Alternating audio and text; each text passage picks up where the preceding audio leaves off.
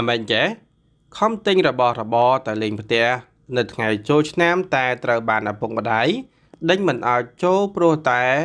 នៅលាវយូរពេកអីលោកព្រះលោកព្រះ បាទម្ដាយឪពុកក៏ចិត្តដាច់ម្លេះបាទសារព័ត៌មានថៃផុសអេងលីក៏បានចុះផ្សាយនៅថ្ងៃទី24ខែមករាឆ្នាំ2023នេះថាស្ត្រីម្នាក់ដែលមានវ័យ30ឆ្នាំត្រូវបានឪពុកបណ្ដេញចេញពីផ្ទះព្រោះតែនៅលាវយូរពេក ឬក៏នៅ single យូរពេកស្ត្រីម្នាក់ដែលមានវ័យ30ឆ្នាំមកពីខេត្តបាសាំងដុងបើក៏បានទៅលេងឪពុកម្ដាយនៅថ្ងៃចូលឆ្នាំថ្មី ដោយអ្នកនាងដោយជាស្រ័យគឺដោយនាង មានទាំងអំណោយដូចជាអង្ករស្ពៃក្តាបជាច្រើនគីឡូបើជាត្រូវឪពុកម្ដាយមិនសប្បាយចិត្តនឹងត្រូវបានឪពុកបណ្ដេញចេញពីផ្ទះព្រោះខឹងកូនស្រីរបស់ខ្លួននៅលាវ បើគ្មានមិត្តប្រុសរហូតដល់អាយុ30ឆ្នាំ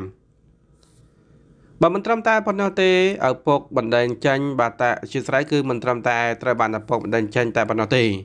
បាទប្អូនស្រីក៏មិនក៏មិនជួយហើយថែមទាំងបានសោតចំអកនិងបានថតវីដេអូឌឺដងឲ្យបងស្រីថា បាទខ្ញុំមិនដឹងទេប៉ាមិនពេញចិត្តបងបាទដែលមកម្នាក់ឯងឬក៏បាទឬក៏មួយបាទគាត់ក៏មិនពេញចិត្ត ដែលបងយកអំណោយមកតិចពេកបើចំណាំមិញក្រោយពីបាទឃើញរឿងរ៉ាវនេះត្រូវបានផ្សាយផ្សព្វផ្សាយតាមបណ្ដាញសង្គមអ្នកនិយមលេងអ៊ីនធឺណិតភាគច្រើនក៏បានបញ្ចេញមតិមិនពេញចិត្តជាច្រើនពីរឿងដែលប្អូនស្រីនោះបាននិយាយនៅក្នុងវីដេអូបាទគូបញ្ជាក់ផងថាស្ត្រីរូបនេះក៏បានលើកឡើងដែរថាមូលហេតុដែលឪពុកម្ដាយដេញចេញមិនឲ្យចូលផ្ទះនោះ គឺអាចដោយសារតែឪពុកម្ដាយរបស់ខ្លួន មានអារម្មណ៍អាម៉ាស់បាទគឺមានអារម្មណ៍អាម៉ាស់មុខព្រោះកូនស្រីធំហើយតែមិនតន់ទេការបង្កើតគ្រួសារនិងមានផ្ទះសម្រាប់រស់នៅនោះ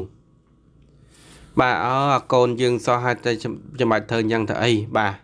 ហើយបាទគ្នាមិនតន់មានគ្រួសារមិនតន់មាន បាទសង្សារចាំបាច់តែខឹងទៅអីហើយមើលវិញទៀតបើថាខឹងរឿងរឿងអីវ៉ាន់ឬក៏ បាទការផ្ញើអីវ៉ាន់តិចតួចមកមកខ្លួននឹងក៏មិនគួរខឹងដែរបាទកូនរបស់ខ្លួនចាំមិនតែខឹងចិត្តដេញចាញ់តែអីបងប្អូនបាទមួយវិញទៅនឹងគឺបងអូនស្រីក៏ណាស់ដែរបងប្អូនបាទចំពោះរឿងរ៉ាវនេះបាទហើយព័ត៌មានដែរគឺមានតែប៉ុណ្ណេះទេបាទសូមអរគុណសូមជម្រាបលា